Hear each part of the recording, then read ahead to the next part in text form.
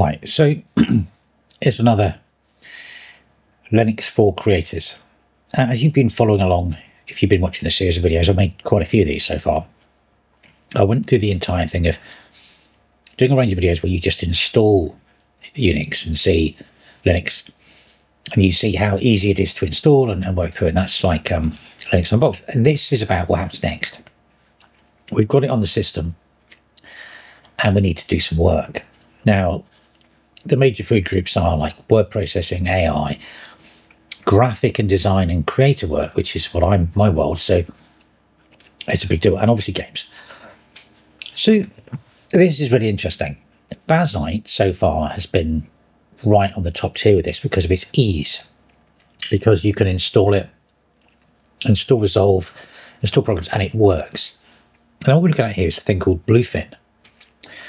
Now, Bluefin is like the sister ship to Bazzite. And there's another one called Aurora, which I'm going to do next, which is so Bluefin is based on the GNOME desktop, which you can see here. The thing at the bottom and that weird, there it is, the weird key at the top there. Okay, but if you press the um, Windows key, it'll do this. There's like a hotkey, a fast key. And then there's another one called Aurora, which is based on Plasma, which is uh, probably the one I like more. But okay, so Bazzite's good, but this is as close as this has come ever with the Unix for me for something that you just install and it works. It's really impressive. So okay, so I'll take you through some of the bits of what you can do, but uh, fundamentally, it's it's been designed so it's as easy as possible for you to put Unix on. I mean, I'm going to put this on my laptop, I think. Unix on, on a machine and go to work and have a good, snappy, you know, environment. So anyway, let me just show. I've got OBS running, as you can see here. Let's close that down. Now, on the desktop here, we've got a little taskbar down the bottom, but it's GNOME. So we go into our apps window. So in here, I mean, obviously, you know, I can install, I've got GIMP on here somewhere. I put GIMP on. GIMP, here we go. Let's launch GIMP. Up it comes.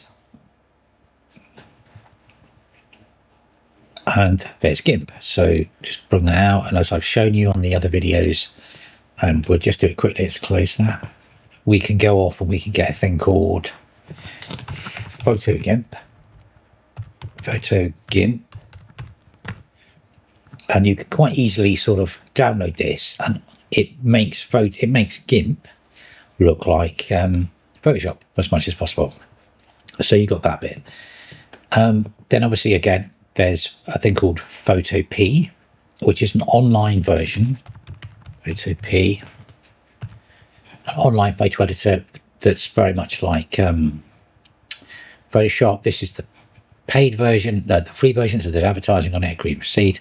But you can go in here, um, open from computer, generate an AI image, templates, new project. We get advertising on the right. Um, and you can work in the cloud like this which is great. And it does Photoshop type stuff. So that's brilliant. So that's that sorted.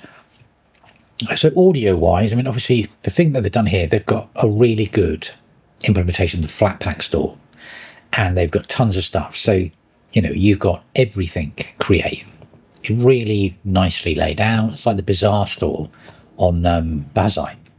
They're all very similar. So you've got all these things. I mean, we've got Blender, all, all, all the usual suspects you can use. It's great, but it's just very, very well done. It's really easy. Now, I've got OBS, I've shown you that.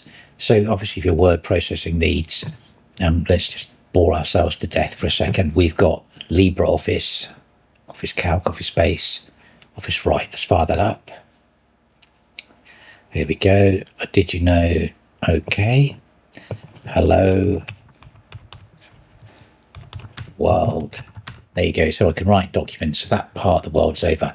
Now, don't save. So as I've shown on other platforms as well, um, other you, you could you've got a really really easy way to do AI. So the front end you need is Ollama, but I won't launch that yet. But you need to install the back end of Ollama. There's one built into this, but it doesn't use the GPU properly. So what I'll do, I'll just um, just show you how you install Ollama. It's really simple. Just go to Ollama com, click download, comes with that command, click on that, I mean, obviously, if I was using this properly, I mean, the ver- version that I will finally install, I'll put all my fingers I want in the bottom there, but you just pop into this, and in here somewhere is cancel this terminal. There you are. And then you just paste it in there, and off you go. So if you use Bazzite, this is incredibly familiar because it's all the UJust stuff. It's like Universal Blue It's the, the world it's in. So to install DaVinci Resolve, you literally type, you put Resolve in a folder. Uh, where did I put it? Downloads. There it is. Typed in the UJust command, which is, um, I'll just put it up here for you. UJust install Resolve, and that will install DaVinci Resolve for you. Magic. So yeah, so Bluefin, the version I've got is the GTS version, by the way, which is the, the sort of Fedora 41 version. So it's very stable. So yeah, so okay, so downloaded and installed Ollama, and then you need to run Ollama. Now, some of them some of them run Ollama in the background all the time. That's not great because it's difficult to get the memory back for the models. So it's nice how this is done it where it's not on. So you just need to go into console, into terminal, and then you type ollama serve and off it goes. So that's running. So Ollama's now running in the background. So we just minimize that and we can launch Alpaca, which is our front end to talk to AIs. So just go up here, click on that, Alpaca. Now, I've got to be super careful to do this because if I load a massive memory model, the, the video is going to stutter. So let's just use a cheapy one. Okay, so I've got ChatGPT OSS is on there. And I'll just show you this. There's a really nice um, thing in here called Mission Control which is just a great way. I've not seen it on any other distributions. Maybe I've just looking hard enough, which is literally like Windows Task Manager. Okay, but it, it's a Linux one, so it's way better. So you've got all your stuff here. So if I just go down to my GPU, you see it's sitting at 3.6 gig of memory. And let's put it on Llama 3. If the video stutters, I'm sorry about that. So then let's just ask for a new uh, yeah, new chat. And then if I do, can you tell me about time dilation in physics, which is this question? You'll watch the, the bottom one here. The GPU memory should jump and you should see a spike in activity up here. There you go, look.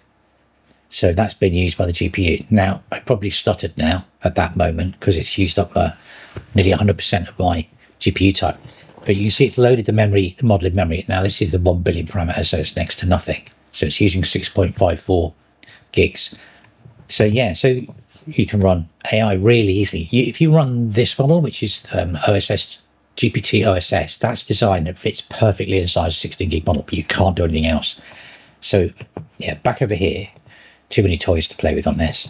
Memory, NVMe speed, you know, all the stuff that you'd see, my internet connection, Wi-Fi, and then I've got an APU on here as well because it's a, a Ryzen 9 chip, but really clever. So if you've not had a look around this, there's tons you can do with it. You can go into manage instances. You don't need to use Llama locally. You can pull from um, an AI in the cloud like Groq, shows your list here. So you can go to, from Groq, Gemini, Together, Venice, DeepSeek in the cloud, or do it locally. So cancel. And then you've got tools and toys over here. So manage your tools. Background remover, Spotify control center, extract Wikipedia, there's tons. Okay, and then you can control it. So I'm going to shut this down, but what you need to do to get your, your video memory back is shut this down. Actually, we shut Llama that, that first. And when I close this, close it. If I run mission control again, I should have, where are we, GPU? There. So I've got I have got my memory back. It will come back very, very shortly. So that's great. So you've got AI to your heart's content. Play with that yeah, it's quite. I like. I'm. I'm like taken with this. Anyway, so what I'm going to do is what I normally do. I'm going to stop recording this, start recording again. Let me bring up um, OBS. So I'm going to stop recording this, then I'll bring this clip into DaVinci Resolve because it's AV1. So this is the thing. Obviously, I mentioned every single video. H.264 and H.265 are licensed. They don't come with Linux, and so in DaVinci Resolve, they don't give you access to it in the free version. In the paid version, you do, but you don't in the free version. So you get AV1. AV1 is free on everything, and AV1 is actually better than both of those. So if you start doing making and recording and shooting everything in AV1, fantastic.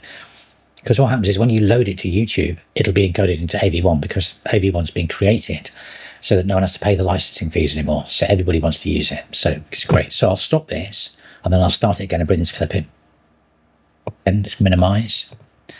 Now, I'll leave that running in the background. I'm just interested to see the video decode, encode and decode. So yeah, so I've installed Resolve using that UJust command. Uh, let's just launch it. And you said he should, because it worked last night.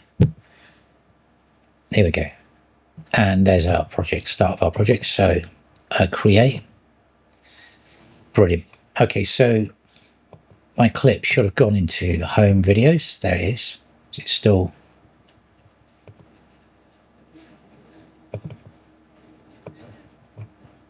change frame rate. Oh, what's going on there? Let's. There we go. Thought the drivers weren't installed. It's there. Anyway, so yeah, there's a bit of a weird thing going on. Let's change this display uh, preferences. The scaling's a bit strange. Change that to 150. Save it. Okay, and start that again because my mouse cursor is tiny. Back again. Let's try that again. See if it's massive though. Let's launch Resolve. Everything's got a lot bigger. Possibly too big. But my mouse cursor is tiny. Anyway, we're going to live with that. Anyway, the screen's gigantic now, so you can see it really clearly. Anyway, so let's pop that into a timeline. Um, easy way to do it, you can create timelines from here. Just right click, create new timeline using selected clip. Choose your project setting here. So I'm going to choose format, UHD, UHD. There we are. 60 FPS because I'm recording over that. Output, all that monitor video resolution, the timeline, monitoring at HD, color, DaVinci RYB. It's fine. Don't need to get into any of that stuff until you get into color grading properly. So yeah, so that's my timeline. So I just jump to this and there you go. There is my timeline. So there we go, it's me playing. There we go. So then you can color grade. Um, you can do whatever you need to do. Effects. DaVinci Resolve's got all the stuff. You've got Fusion, which is magic, and I don't understand it. Color, which I do, because that was my job. And then over here, do all that, and then you can export. And as I'm saying, you can't come out. This is the free version I think I've stuck on here. You've got ProRes, brilliant. So you can actually master out to professional broadcast standard. But on here, you've got uh, where are you? I always get this confused. Where is it? It's QuickTime, but it's an MP4. There it is. MPEG. Where are you? MPEG. QuickTime. No, no, no, no, no. MKV. QuickTime. ProRes. Type ProRes. That's interesting. I'm going to be caught out here totally because that's not picked up. M, A, that's not picked up AV1 for some bizarre reason. Pick four video. Am I doing something wrong here? Answers in the um, description, but this should now have AV1, but it's not got it. I've got the wrong selection of the drop downs. Right, I'm missing something. Wow. I need to do a bit of research on that because it doesn't seem to have MP4, it doesn't seem to have AV1 as an export because it should have the NVIDIA encoder. But I have installed this. I have installed this with um, Justin. Mind you, it works on Bazi. This isn't, but mind you, this is not, I've got the GTS version. I haven't got the super advanced version. So maybe it'll work on that. So there's another video, sadly. I'll get the advanced version and do this again. But you should come out and be able to use the the NVIDIA NVENC codec here. I'm missing something, I'm sure. I've not seen this before where you can't select it. Anyway, that's for a whole other video. But yes, so maybe get the for the later version. I'm using the bulk standard generic one, but it's probably worth looking at the later version. Mm. So there you go. So that's that's it. I mean, apart from that slight hiccup at the end, which I was not expecting, this is a perfect operating system in my view. It's brilliant. It's really, really good. If you want to switch to Unix or Linux, give it a go. Try either Bazzai, Aurora, or Bluefin. That's your way into this because they just seem, this is just so simple. It's like you've got like a big button here that says updates. You've got, you know, I don't care. I'm not interested. I can play games. Let's just launch Steam up. So let's just do Steam. This should launch. He says, it's all going to go wrong on the live demonstration. There it is, it's running. There, we're on the network.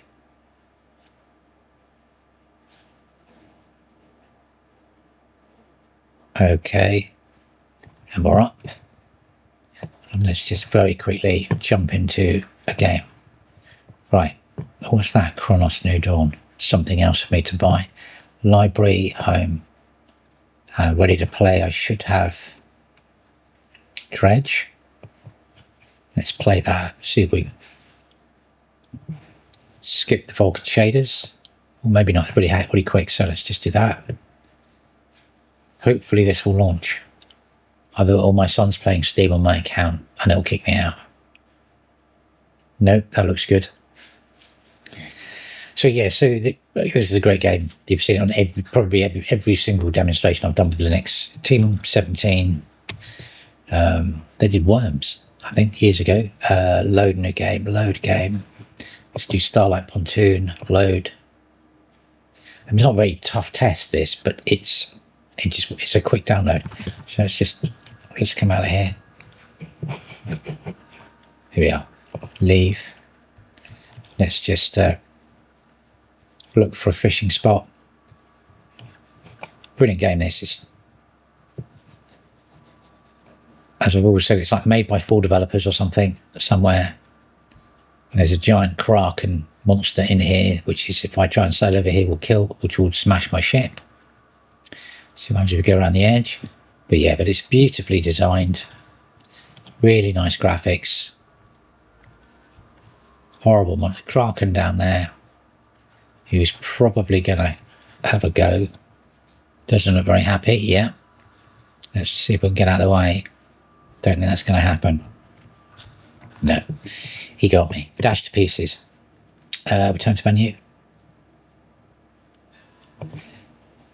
So yeah, so that's Steam well. So I think we've been through everything there. The only the only hiccup there was resolved with its encoding, but I'm sure that's because of the version of this. I'm going to install the newer one.